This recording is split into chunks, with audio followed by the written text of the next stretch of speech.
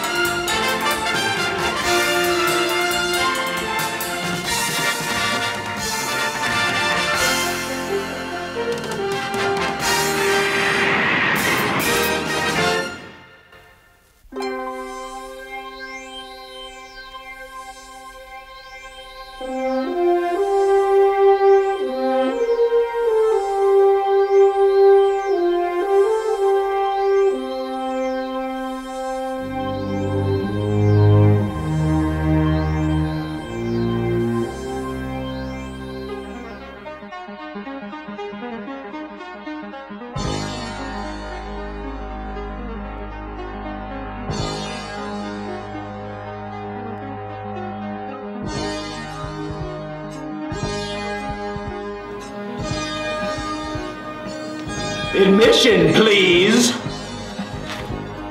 Back in my time, swap meets were free to attract more vendors. And so the collectors actually had money left over to buy toys. You must be Swap Rogers. I've heard of you. Our shows are more advanced than the primitive swap meets of your time. You space cowboys should know. We have space chinchillas and starfighter insurance. Look, we may not agree on how to charge for toy shows. But can we both agree that things have lost their ways a little? Most of the vendors can't even afford to pay your prices and don't even have toys. Go freeze yourself.